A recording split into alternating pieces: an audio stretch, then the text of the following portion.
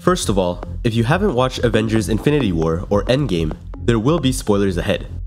In recent years, our exponential population growth has left an irrefutable ecological footprint.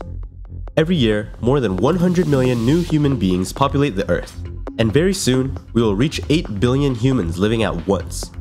Clear population growth is not dispersed evenly throughout the world. While Africa, certain parts of Latin America, and Asia are growing at a breakneck pace, European and North American countries are beginning to experience a population decline.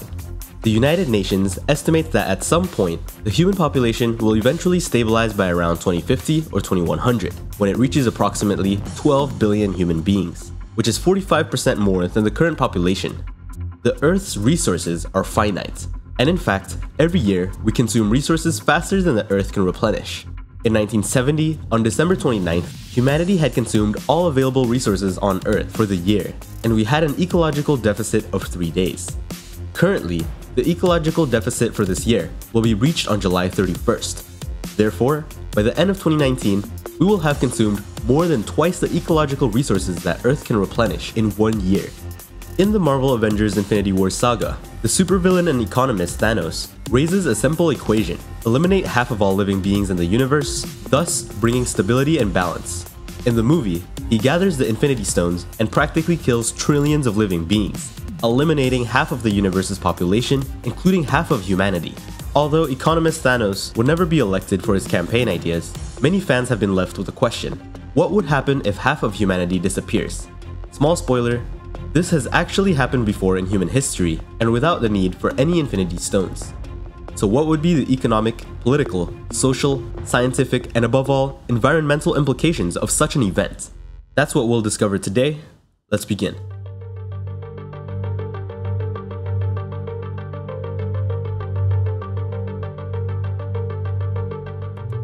Although the Infinity Stones in the Marvel Cinematic Universe has the power to do pretty much anything, Thanos was determined to wipe out half the universe, instead of using the stones to double the universe's space and resources. He was a firm believer that overpopulation was the universe's greatest threat, and Thanos put his plan into motion after his homeworld collapsed due to overpopulation. Before he had access to the stones, he was going planet to planet, reducing the population by half. The Earth and humanity were victims of Thanos' snap, and in a matter of seconds, about 4 billion people disappeared from the planet. So, if this were to happen in real life, Thanos' snap would have made 4 billion people vanish in an instant. Although the scene of the people disappearing was shown at the end of Infinity War, as well as the beginning of Endgame, which showed how the world looked when 50% of the population disappeared, we didn't really see how lives were affected on a day to day basis. First of all, let's take a look at some basic statistics, such as the total human mass. We are about 7.8 billion people, each with an average mass of 60 to 65 kilograms. This would mean that all humans combined on this planet would weigh a total of 370 million tons. So if half of us disappeared, it would imply that around 180 million tons would vanish, and the planet would weigh slightly less. But with the scale of our planet, that's almost nothing. If half of humanity disappears, the loss of mass would be equivalent to the weight of the Burj Khalifa, which would not make much of an impact on the rest of the world. Physically, humanity represents practically nothing on the planetary scale. In fact, Scientists have even made calculations that indicate that all the ants on the planet would easily exceed humanity's total mass. So, the immediate real world effects, as it happens in the movie, would be a large post traumatic shock. Evidently, there would be many accidents with cars, trains, boats, and airplanes. The shock would leave entire countries virtually without leadership in an instant. Millions of people will also die due to the abrupt consequences of the disappearance, even if they did not dust away. For example, there could be accidents at nuclear power plants due to the lack of personnel. There would also be the problems of blackouts and planes falling out of the sky with no pilot. The most populated nations on Earth, such as China, India, and the US, would see their population shrink to 700, 690, and 160 million people respectively. The political shock to such large nations would lead to the implementations of curfew and possible civil wars breaking out after the disappearances of their leaders. So economically, what would be the implications? Could we calculate the possible effects? And how would this distort existing economic models? Well, it wouldn't be entirely unprecedented. There was a time when this seemed to be a reality in Europe, the era of the Black Plague. The Black Plague was a global pandemic that occurred between 1346 and 1361, which killed 40 to 60% of the European population, but also affected the African and Asian continent as well. It is estimated that the Black Plague took over 50 million lives, and at the time, the population of Earth was around 350 million, so this equates to approximately a reduction of 15% of all people, but there's a strong belief that the plague killed half of Europe. The economic, demographic, and social effects of the Black Plague are still a very strong field of study, as it was an event that certainly left a mark on the continent. In the first instance, by reducing the population by over half over a period of a few years, there would be certain economic changes in European countries. For example, in England, wages were increased by 50% due to labor shortage. People now had more opportunities to access positions or classes that were previously unavailable. People from less fortunate backgrounds also had better access to health and good quality food. This resulted in a better overall health of the surviving population that raised the life expectancy, at least for a while. So, there was a growing availability of labor and more expensive labor despite evidently lower demand, as you can see in this graph. Real wages increased considerably during the plague and was reduced when the demographic recovery started to begin after the plague. Prices during medieval Europe actually rose during the beginning of the plague and then fell for several decades, but not to a level that could show a sudden depreciation of values. The reason is that the plague itself dragged more than half of the European population but it did not destroy capital, goods, or resources.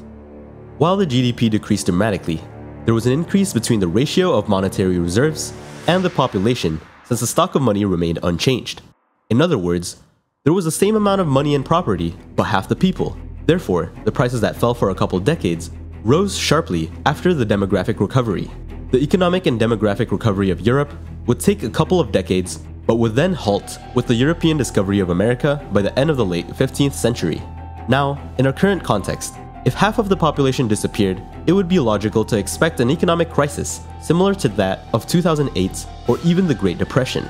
This is due to the current interconnectivity of today's world, and it is what differentiates now and the age of the Black Death. The Black Death took half of Europe over the span of 40 to 50 years. But if Thanos were to exist and execute his plan, then the economic shock would be abrupt and catastrophic, not to mention the psychological consequences of the survivors for having lost family and friends. Leaving aside the psychological consequences, the prices of property would fall dramatically in many metropolitan areas of the world.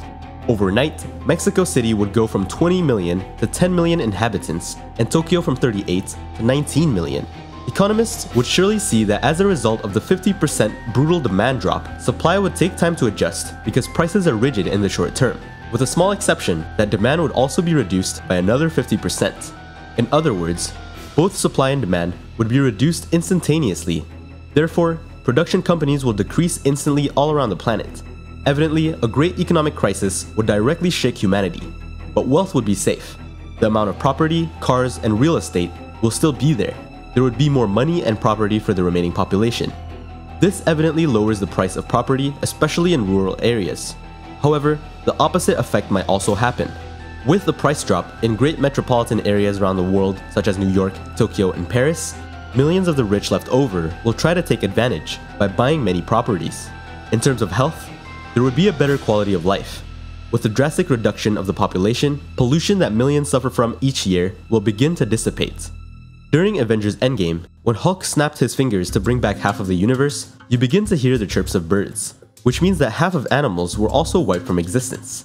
So by this logic, billions of chickens, cows, pigs, and other animals for human consumption also disappeared, which means much of the food supply also decreased. However, with the disappearance of billions of cows, this would also mean that there would be less methane in the air, which is one of the biggest culprits of climate change. And if half of all humans disappears, it is clear that this would be a positive ecological occurrence for the planet. Carbon levels would be reduced overnight, millions of cars would never be driven again, millions of planes would never take off, and millions of factories would never produce again. So we wouldn't necessarily reverse or stop climate change, but climate change will definitely slow down instantly. Millions of companies, investments, construction, and infrastructure projects would be stopped, and potentially billions would be instantly unemployed. So Thanos, with his snap, wouldn't necessarily give the surviving population a better life, as it would initially provoke a global economic crisis that is potentially worse than the Great Depression. But over the following years and decades, the world will recover to the previous state. The population growth rate would remain at the same level after the semi-apocalypse, at least in the short term, since there would be no reason to reproduce at a different rate than before. Unless, of course, humanity might consider the depopulation of 4 billion human beings as the perfect opportunity to make another baby boom. It would be quite possible that there would be a massive growth just a couple decades after the semi-apocalypse. If the demographic trend stays constant, then by 2100, humanity will reach a population of about 6 billion human beings. So in the end, was the snap even worth it if its implications would only last a century? Well, that's another issue. So I hope you like this video, and don't forget to like and subscribe for more content every single week. Also, don't forget to leave your thoughts and video ideas in the comments below.